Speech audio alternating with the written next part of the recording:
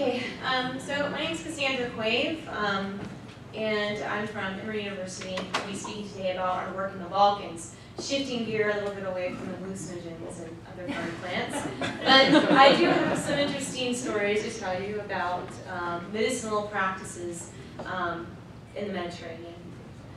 Um, so I want to just give you an overview of the work that we're doing. We're currently um, conducting field studies throughout the Balkans.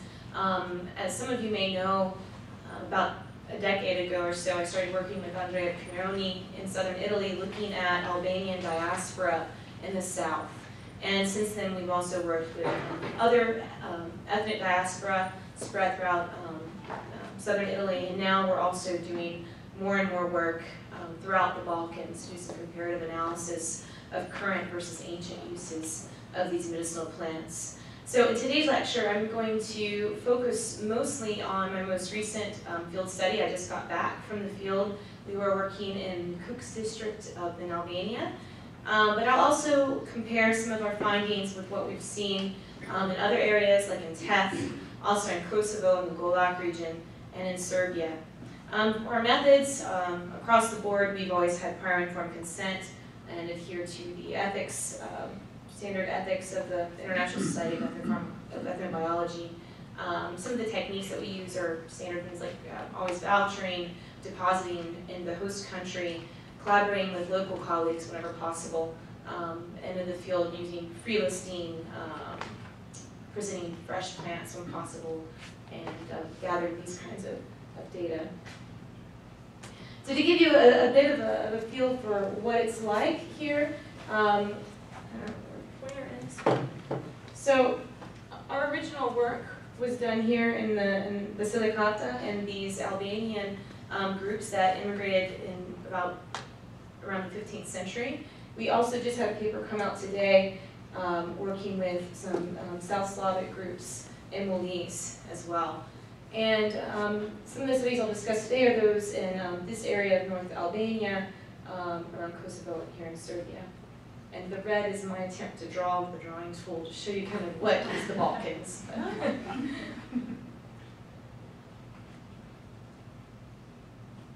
so for our most recent field, field study, we um, had a very intensive um, time working in five communities. And we also did a comparative analysis of different ethnic groups in this region. So we worked with both um, autochthonous Albanian groups and also some Gorani.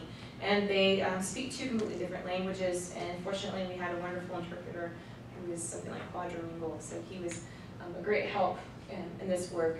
Um, this line here is the border with Kosovo, so as a remnant of some of the, the Yugoslav wars, this is also kind of a dangerous area to work in because there are many landmines along this border region.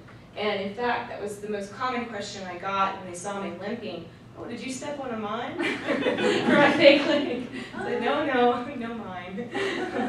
um, but you can see here in, um, I've got the different villages. Kuda, the Gorani villages we worked in were Shishtavec and Borje here, and then you have these other three Albanian ones of Kotovos, Nulise, and. So the topography here is, is quite beautiful. This is Mount um. It's um, around 2,489 meters above sea level. That's the third highest peak in, in, in Albania. And um, you have a lot of agriculture um, and these plots along the um, sides of the mountains. And um, even going from village to village, the flora changes slightly based on elevation and proximity to water. I love this scene. This is um, a, a, a, typical scene um, on, a, on a good sunny afternoon. We had a few days of rain, but here you can see a lot of the youth in the area that are still there um, are responsible for helping to prepare the fields. You have um, this young girl that was bringing um, some manure and straw with her mule here to fertilize the field and prepare it. Um, and th they're getting this ready for the playing of Rye. And I could give a whole other lecture just on this because it's a very interesting story of this Bukar Thekna, which they consider to be a very healthy kind of, um, of grain um, to make bread in the past, but since the fall of communism, they no longer make it. Um, and they say it's because of poor seed quality. But they do um, grow it for their animals. Their other major crop Um, I'll get to that in a second. I want to speak a little bit about their foods. They do have, um, they're pastoralists, so they have a lot of sheep, um, some cattle. They typically mix the sheep and cattle uh, milk together in the production of a lot of really um, nice uh, fermented uh, dairy products, different yogurts, cheeses. Many of them include um, some capsicum thrown in there, some um, peppers, and a lot of other fermented um, vegetables as well make up the diet. Some other health foods in the area are, are these um, semi-fermented, they call juices, but it's not really fruit juice. They basically will take a lot of different wild fruits, they will um, add water to it and let them kind of, you know, ferment for a while. And they kept talking about Coca-Cola, you know, when we were interviewing, I would hear this, you know, I could catch on to some words. I kept hearing Coca-Cola, Coca-Cola what are they talking about, this Coca-Cola? And what it turns out to be is they would often use the two-liter Coca-Cola bottle to do their fermenting. so they're reusing those, recycling and reusing those plastic bottles. Um, other health foods in the area are a lot of, they use a lot of these uh, wild edible greens. You can see here's some rumex that's going into a dish known as pita, also known as burek, depending on which um, ethnic group you're working with. And this nice lady is showing us um, some pita that she has prepared um, using wheat and, and, maize flour and stuffed with uh, these cheese and, and, wild vegetables. Ah, here we are to potatoes. I was starting to speak about before. So the other main crop that they, that they grow in this area are potatoes.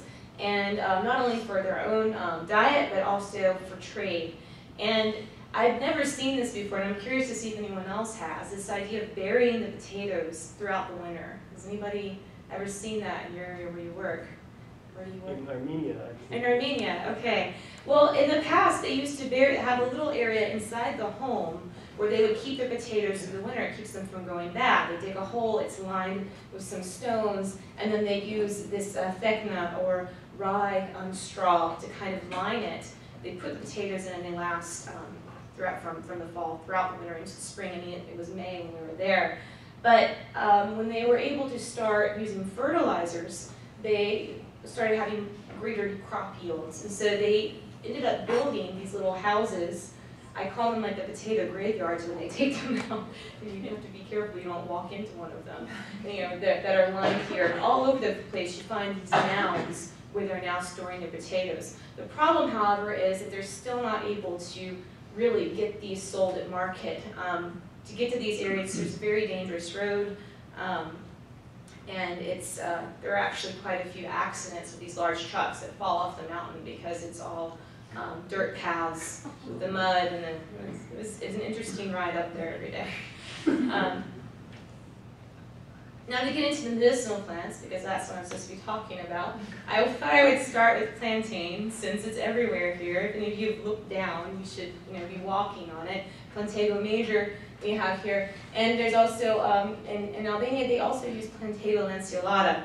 I like this example because one of the points I want to drive home here, especially for those of us doing ethnobotany in Europe, is that while we may not be discovering a lot of new species used in a medicinal way or new, new uh, medicinal uses of new plants. What we do constantly find are new ways that these plants are used. And even though all these different uh, sites that we're working at, in many cases share a similar flora, the actual way that they utilize these plants differs greatly. Um, so for example, Plantago lanceolata in, um, in, in, among Albanians in Kosovo, they commonly use those for infections of the fingernails, and they'll combine it with soap kind of coat the fingernails with that. Um, but in, in the sites we worked in in Hooks, they use it strictly as a hemostatic. So if you have a wound, it'll stop the bleeding. That's the only way it's used. It's not used as a suppurative. Um, Plantago major, on the other hand, is used as a suppurative to draw out pus um, and for infections, also combined with this fresh clune or this butter that they make there. That's the best butter I've ever had on earth. Um, there's a great poster, student here, she's in the back, Suzanne, who's working on salep trade in Turkey. And salep also grows in this region. Um, it's a kind of terrestrial orchid, and this is only one species, or they actually collect many different species. And this is one of the cases of where the people do use this occasionally for um, gastrointestinal issues for diarrhea and such, but more commonly as a way to supplement their income. Because remember, their only main um, source of income is this potato trade, in which they are really not even able to sell their crops sometimes. This year was a really bad year to even get it sold, period. So they supplement their income by selling um, certain medicinal plants they find in the region to middlemen. So they actually make very little money. The middleman makes a lot, and it ends up probably somewhere in Europe, maybe Germany, going up through the Kosovo borders. Other common medicinal plants are those of Hypericum, um, perforatum, or St. John's wort. Um, here, um, this is my colleague, Dr. Pieroni. We're interviewing a woman in Kolobos about the use of Hypericum. And they use it as a tea um, for different stomach issues, also for hemorrhoids. And um, similarly to southern Italy, they'll make an oleolite out of this to treat wounds. So they soak it in olive oil that they actually purchase from the store or other oils. So you have this mixture of local products and also those that are purchased. Chai mali is um, a kind of uh, oregano, Origanum vulgare, that's used um, as, a, as a sedative in, in Kosovo. But in Kukës, it's, it's, it's just considered to be a very healthy tea. And it's really used extensively in northern Albania, but not really at all by the Serbs even though again, we have the similar landscape, very different uses of common plants. Another important plant is that of Rosa canina. You, they use the fruits or the rose hips here um, in um, different types of teas. It can be fresh or dry, or they may ferment them in those uh, juices that they make for health. And these are used um, in, in, in, Kosovo, for example, they're used uh, to treat different renal issues as a cough aid or an antitussive and an antidiarrheal. And in, um, in other regions of North Albania, it's mainly also for GI complaints. Malag, this is Malva sylvestris. I like this example because again, it's another plant found throughout. It's also called malag by these, this ancient Albanian diaspora that came to southern Italy. So this name has had some retention. What's very interesting though is there's not much use of this plant in the study area. It grows everywhere. They don't really even have a name for it, especially in the Gorani villages. It's just there. It's just luli. It's just a, a flower. Um, however, in other areas, like in Kosovo, they do use um, a tea as a mucolytic in a similar way that's done also still in these um, uh, Albanian diasporas in southern Italy. So in conclusion, I want to just point out again that although they do share this similar medicinal flora, there are many differences in uses and applications. And other issues that are contributing to change in the area are, of course, economic hardship. Everyone wants to escape, and I keep telling them, no, you should stay here. It's beautiful here. you don't have the traffic and the pollution in the city. But there are many that are trying to escape and they leave the country, often um, undocumented, to seek out work um, throughout Europe and even some in the US and Canada. Um, the other important thing is that understanding these uses amongst different um, groups is important for the future of migrant health, especially in Europe, where you have this great movement. It's important for the medical community to be informed and to have a better understanding of how these plants are used. If you ask a physician how is St. John's wort used, they probably won't know about its use for hemorrhoids or for um, and topical applications. Um, they think more towards the kind of popular you know, dietary supplement versions of it. And lastly, traditional knowledge is dynamic and prone to change, and you're probably wondering what this picture is about, but I wanted to point out one thing this girl, she's in the middle of nowhere in these mountains and she's got a cell phone talking away while she walks to go and um, dump the manure in her fields. So it's a new era for research. I have a ton of new um, Albanian Facebook friends. They all, you Facebook? Facebook, send us the pictures. So it's a, it's, it's a very different world that we're working in now than even 10 years ago um, with the movement of information. Um, I think I have maybe one minute for questions.